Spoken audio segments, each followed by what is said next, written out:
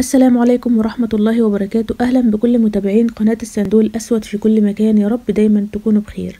في فيديو النهاردة هنتكلم عن رد فعل محمد رمضان في برنامج رامز عقله طار وعقاب قوي لرامز جلال.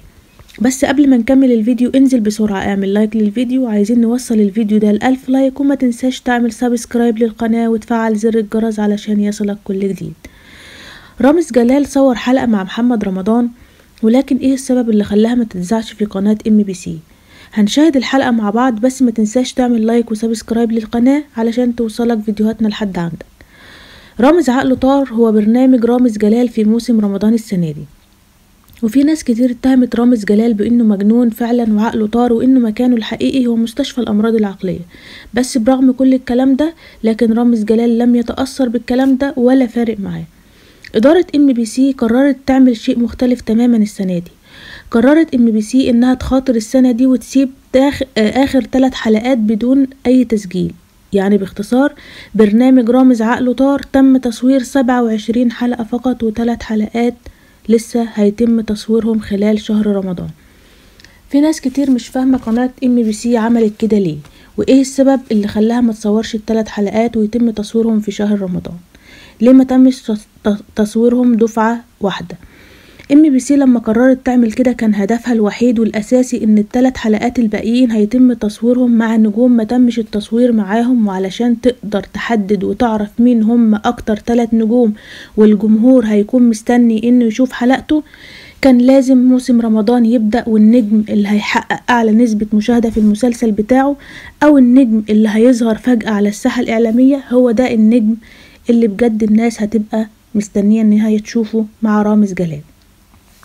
وأول نجم وقع عليه الاختيار في الثلاث حلقات اللي من لسه ما تسجلوش هو الفنان محمد رمضان. كلنا عارفين إن الفنان محمد رمضان فنان عليه جدل كبير جدا بسبب إنه دايما بيقول على نفسه نمبر وان وفي ناس كتير جدا عملت مقاطعة ضده وضد أعماله ومسلسلاته وأفلامه ولكن هو مهمهوش وكمل. وفي ناس كتير جدا معاه وبتحبه. يا ترى بقى محمد رمضان هيعمل إيه في برنامج رامز عقله طار؟ ويا ترى الناس هتبقى مستنية فعلا إن هي تشوف الحلقة بتاعته ولا هي مش طايقاه؟ بس الغريب إن لما قناة MBC عملت تصويت على حلقة محمد رمضان كان في تفاعل شديد جدا عليها وفي ناس كتير جدا مستنية إنها تشوف الحلقة دي وتشوف هيتصرف إزاي مع رامز جلال في برنامج رامز عقله طار. أكيد كلنا شفنا محمد رمضان في برنامج رامز واكل الجو وكان ساعتها رد فعل صادم جدا بالنسبة للناس. بس المرة دي الوضع هيبقى مختلف.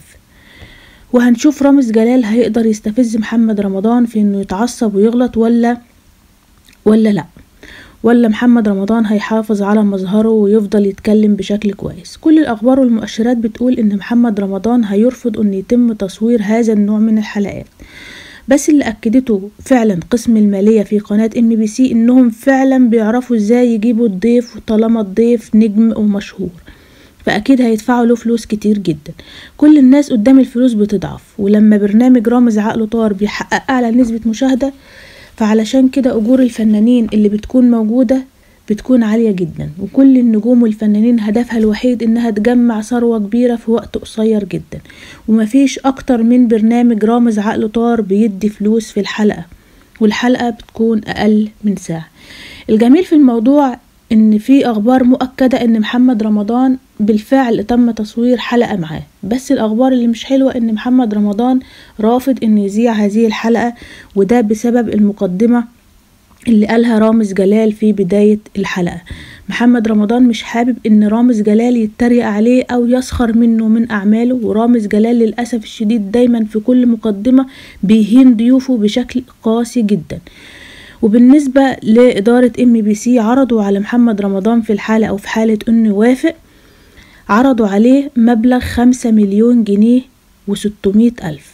ومن المقرر إن المفاوضات بين محمد رمضان وإدارة MBC هيتم الحسم فيها خلال هذا الأسبوع.